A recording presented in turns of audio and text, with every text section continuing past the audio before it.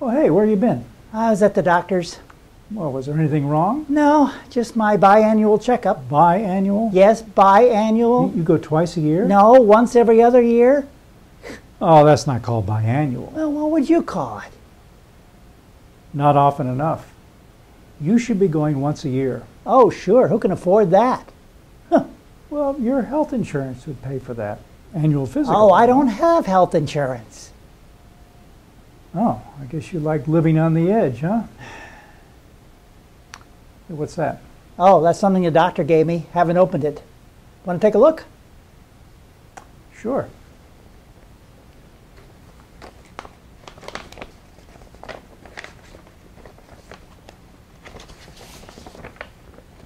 Oh, looks like it's an x-ray Yeah. of you. Don't you want to see No, it? no, no, no, no. I'm afraid it may be bad.